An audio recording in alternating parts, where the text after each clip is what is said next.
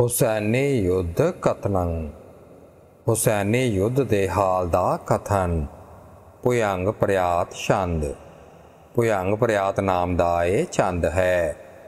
ਗਇਓ ਖਾਨ ਯਾਦਾ ਪਿਤਾ ਪਾਸ ਭਜੰ, ਖਾਨ ਯਾਦਾ ਭੱਜ ਕੇ ਪਿਤਾ ਕੋਲ ਗਿਆ। ਸਕੈ ਜਵਾਬ ਦੇ ਨਾ ਹਨੇ ਸੂਰ ਲੱਜੰ। ਸੂਰਮਿਆਂ ਦੇ ਮਾਰੇ ਜਾਣ ਦੀ ਸ਼ਰਮਿੰਦਗੀ ਕਰਕੇ ਪਿਓ ਨੂੰ ਕੋਈ ਉੱਤਰ ਨਾ ਦੇ ਸਕਿਆ। ਤਹਾਂ ਠੋਕ ਬਾਹਾਂ ਹੁਸੈਨੀ ਗਰਜੀਆਂ ਤਦੋਂ ਉੱਥੇ ਬਾਹਾਂ ਨੂੰ ਠੋਕਦਾ ਹੋਇਆ ਹੁਸੈਨੀ ਗੱਜਿਆ। ਸੂਰ ਲੈ ਕੇ ਸਿਲਾ ਸਾਜ ਸੱਜੀਆਂ ਅਤੇ ਸਾਰਿਆਂ ਸੂਰਮਿਆਂ ਨੂੰ ਨਾਲ ਲੈ ਕੇ ਸ਼ਸਤਰ ਅਤੇ ਕਵਜ ਸਜਾ ਲਏ। ਕਰਿਓ ਜੋਰ ਸੈਨੰ ਹੁਸੈਨੀ ਪਿਆਨੰ ਸੈਨਾ ਨੂੰ ਇਕੱਠਾ ਜ਼ੋਰ ਕਰਕੇ ਹੁਸੈਨੀ ਨੇ ਪ੍ਰਸਥਾਨ ਕੀਤਾ। ਪ੍ਰਥਮ ਕੋਟ ਕੈ ਲੋਟ ਲੀਨੇ ਆਵਾਨੰ ਪਹਿਲਾ ਪਹਾੜ ਦੇ ਨਿਵਾਸੀਆਂ ਦੇ ਘਰਾਂ ਨੂੰ ਲੁੱਟ ਲਿਆ। ਪੁਨਰ ਡਡਵਾਲੰ ਕੀਓ ਜੀਤ ਜੇਰੰ। ਫਿਰ ਡਡਵਾਲ ਦੇ ਰਾਜੇ ਨੂੰ ਜਿੱਤ ਕੇ ਅਧੀਨ ਕੀਤਾ। ਕਰੇ ਬੰਦ ਕੈ ਰਾਜ ਪੁਰਾਤਨ ਚੇਰੰ। ਅਤੇ ਕਈ ਰਾਜਪੂਤਾਂ ਨੂੰ ਬੰਦੀ ਅਤੇ ਗੁਲਾਮ ਬਣਾ ਲਿਆ। ਪੁਨਰ ਦੂਨ ਕੋ ਲੂਟ ਲੀਨੋ ਸੁਧਾਰੰ।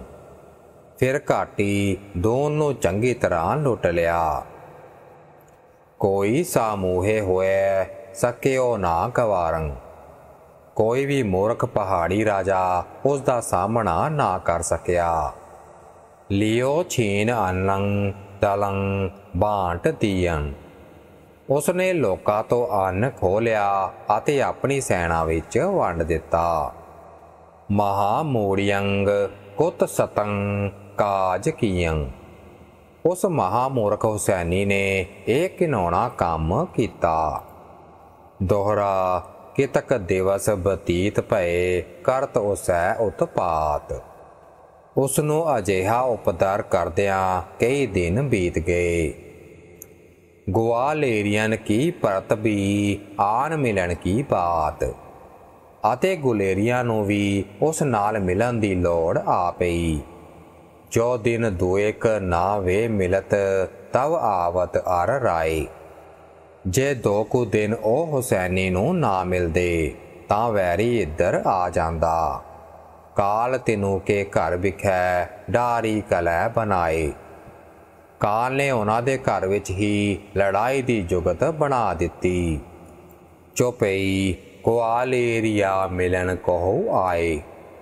ਜਦੋਂ ਗੁਲੇਰੀਆ ਹੁਸੈਨੀ ਨੂੰ ਮਿਲਣ ਆਇਆ, ਰਾਮ ਸਿੰਘ ਪੀ ਸੰਗ ਸਿਧਾਈ ਤਾਂ ਰਾਮ ਸਿੰਘ ਵੀ ਉਸ ਦੇ ਨਾਲ ਗਿਆ। ਚਤਰਥ ਆਨ ਮਿਲਤ ਭੇ ਜਾਵੰ। ਚੌਥੇ ਪਹਿਰ ਆ ਕੇ ਉਹ ਮਿਲੇ। ਫੂਟ ਗਈ ਲੱਖ ਨਜ਼ਰ ਗੁਲਾਮ। ਉਹਨਾਂ ਨੂੰ ਵੇਖ ਕੇ ਹੁਸੈਨੀ ਗੁਲਾਮ ਦੀ ਨਜ਼ਰ ਫਟ ਗਈ।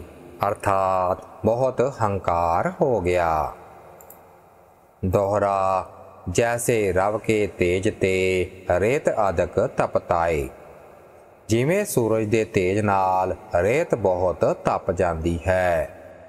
ਰਬ ਬਲ ਚੋਦਰ ਨਾ ਜਾਣਈ ਆਪਨ ਹੀ ਗਰਬਾਏ ਉਹ ਨੀਚ ਰੇਤ ਸੂਰਜ ਦੇ ਬਲ ਨੂੰ ਨਹੀਂ ਜਾਣਦੀ ਅਤੇ ਆਪਣੇ ਆਪ ਵਿੱਚ ਗਰਬਿਆ ਰਹਿੰਦੀ ਹੈ। ਜੋ ਤੈਸੇ ਹੀ ਫੂਲ ਗੁਲਾਮ ਜਾਤ ਪਿਓ ਉਸੇ ਤਰ੍ਹਾਂ ਗੁਲਾਮ ਹੁਸੈਨੀ ਫੁੱਲ ਕੇ ਅੰਨਾ ਹੋ ਗਿਆ। ਤਿਨੈ ਨਾ ਦ੍ਰਿਸ਼ਟ ਤਰੇ ਆਨਤ ਪਿਓ ਅਤੇ ਉਹਨਾਂ ਨੂੰ ਨਜ਼ਰ ਥੱਲੇ ਹੀ ਨਾ ਲਿਆਂਦਾ। ਕਹਿ ਲੂਰੀਆ ਕਟੋਚ ਸੰਗ ਲਹੇ।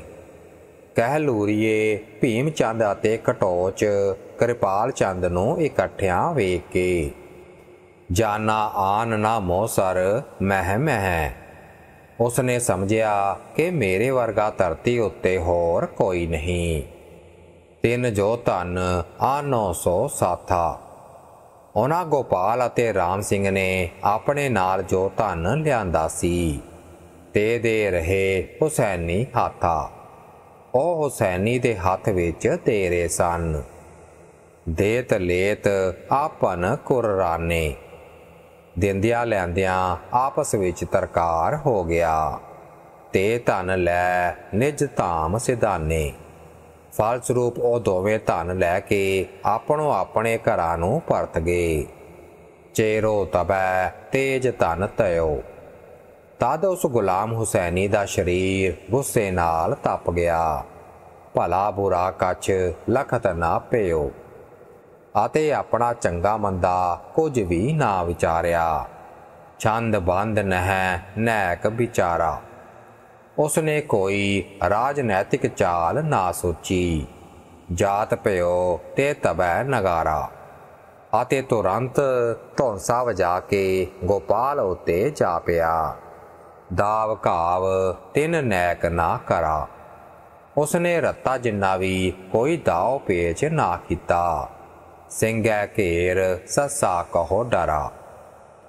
ਉਸਨੇ ਗੋਪਾਲ ਨੂੰ ਇੰਜ ਜਾ ਡਰਾਇਆ, ਜਿਵੇਂ ਸ਼ੇਰ ਨੂੰ ਘੇਰ ਕੇ ਸਹਿਆ ਡਰਾਉਣਾ ਚਾਹੁੰਦਾ ਹੋਵੇ।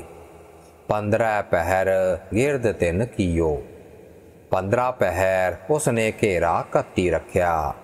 ਖਾਣ ਪਾਨ ਤਿੰਨ, ਚਾਨ ਨਾ ਦਿਓ। ਅਤੇ ਖਾਣ ਪੀਣ ਦੀ ਕੋਈ ਚੀਜ਼ ਅੰਦਰ ਜਾਣ ਨਾ ਦਿੱਤੀ। ਖਾਣ ਪਾਨ ਬਿਨ ਸੂਰ ਰਿਸਾਏ। ਖਾਣ ਪਾਨ ਤੋਂ ਬਿਨਾ ਸੂਰਮੇ ਕ੍ਰੋਧਵਾਨ ਹੋ ਗਏ। ਸਾਮ ਕਰਨ ਹਿਤ ਦੂਤ ਪਠਾਏ। ਉਹਨਾਂ ਨੇ ਸੰਧੀ ਕਰਨ ਲਈ ਦੂਤ ਭੇਜੇ। ਦਾਸ ਨਿਰਖ ਸੰਗ ਸੈਨ ਪਠਾਨੀ। ਗੁਲਾਮ ਹੁਸੈਨੀ ਆਪਣੇ ਨਾਲ ਆਈ ਪਠਾਨੀ ਦੀ ਸੈਨਾ ਨੂੰ ਵੇਖਦੇ। ਫੂਲ ਗਿਓ, ਤਿੰਨ ਕੀ ਨਹੀਂ ਮਾਨੀ। ਹੰਕਾਰਿਆ ਗਿਆ ਅਤੇ ਉਹਨਾਂ ਦੀ ਕੋਈ ਵੀ ਗੱਲ ਨਾ ਮੰਨੀ। 10 ਸਹਸਰ, ਅਬ ਹੀ ਕਹਿ ਦੇਹੂ। ਹੁਸੈਨੀ ਨੇ ਸਪਸ਼ਟ ਕੀਤਾ ਕਿ ਹੁਣ ਹੀ 10000 ਰੁਪਇਆ ਦਿਓ। ਨਾ ਤਰ ਮੀਚ, ਮੋਂਡ ਪਰ ਲੈਹੂ। ਨਹੀਂ ਤਾਂ ਸਿਰ ਉਤੇ ਮੌਤ, ਆਈ ਸਮਝੋ। ਸਿੰਘ ਸੰਗਤੀਆ ਤਹਾ ਪਠਾਈ ਇਹ ਸੁਣ ਕੇ ਰਾਜਾ ਗੋਪਾਲ ਘਰ ਪਰਤ ਆਇਆ ਅਤੇ ਬਾਗੀ ਹੋ ਬੈਠਾ। ਭੀਮ ਚੰਦ ਨੇ ਸੰਗਤੀਆ ਸਿੰਘ ਨੂੰ ਉਸ ਕੋਲ ਭੇਜਿਆ। ਗੋਪਾਲ ਲੈਸੂ ਧਰਮ ਦੇ ਲਿਆਏ। ਜੋ ਗੋਪਾਲ ਨੂੰ ਧਰਮ ਸਾਖੀ ਦੇ ਕੇ ਲੈ ਆਇਆ। ਤਿੰਨ ਕਹਿ ਸੰਗ ਨਾ ਓਨ ਕੀ ਬਣੀ। ਗੋਪਾਲ ਦੀ ਭੀਮ ਚੰਦ ਨਾਲ ਨਾ ਬਣੀ। ਤਬ ਕਿਰਪਾਲ ਚਿਤ ਮੋ ਇਹ ਗਣੀ। ਤਾਂ ਕਿਰਪਾਲ ਨੇ ਮਨ ਵਿੱਚ ਵਿਚਾਰਿਆ, ਐਸ ਘਾਤ ਫਿਰ ਹਾਥ ਨਾ ਐ ਹੈ ਕਿ ਅਜਿਹਾ ਮੌਕਾ ਫਿਰ ਹੱਥ ਨਹੀਂ ਆਉਣਾ। ਸਭ ਹੂੰ ਫੇਰ ਸਮੋ ਛਲ ਜੈ ਹੈ ਸਮੇਂ ਦਾ ਗੇੜ ਸਭ ਨੂੰ ਛਲ ਜਾਵੇਗਾ। ਵਾਹਿਗੁਰੂ ਜੀ ਕਾ ਖਾਲਸਾ ਵਾਹਿਗੁਰੂ ਜੀ ਕੀ ਫਤਿਹ।